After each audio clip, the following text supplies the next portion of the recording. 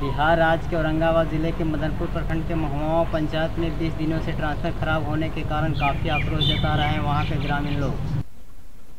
Transformer हो गया करीब दस पंद्रह दिन से। इससे आपको क्या दिक्कत हो रहा है? पढ़ाई में दिक्कत हो रहा है और गर्मी इतनी है कि मनो पंखा उंखा के अथी से दिक्कत हो रहा है।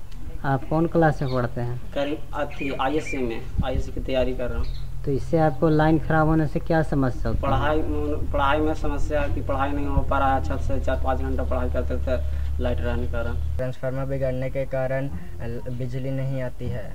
कितने दिन से ट्रांसफार्मर बिगड़ा हुआ दस पंद्रह दिन से।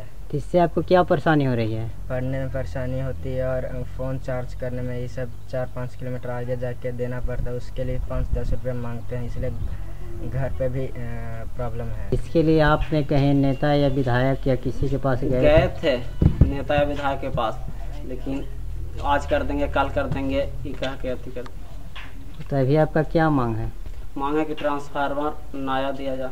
उनका मांग है तथा इस समुदाय की मांग है कि कम से कम ट्रांसफ़र बने और यह वीडियो देखने वाले साथी से अनुरोध है कृपया वीडियो देख करके मदनपुर के जेई बिजली विभाग के जेई के मोबाइल नंबर सत्तर तैंतीस पंचानवे आठ सौ पैंतालीस पर फ़ोन कर दवा बनाए ताकि यहाँ की समस्या का निदान हो और ट्रांसफ़र मरम्मत हो तथा बिजली यहाँ आए।